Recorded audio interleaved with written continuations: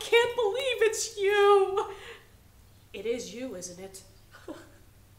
oh, it's so good to hold you in my arms, just like I used to do when you were a little boy. Remember?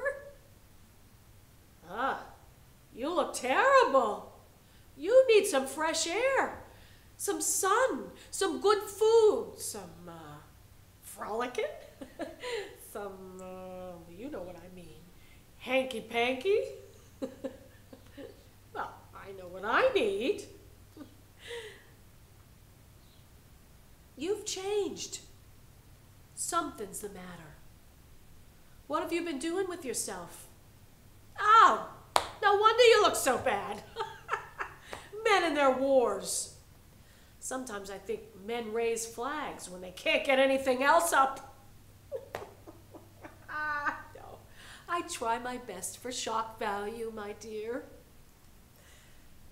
What's the matter with you anyway? Oh, you feel empty and vacant inside. Well, now you listen to me, and you're going to hear something very wise. Just don't take life so seriously.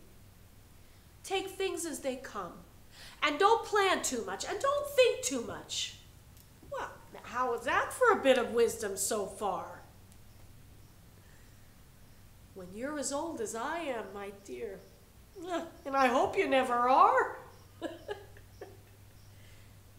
don't squander away or sequester a drop of a precious year.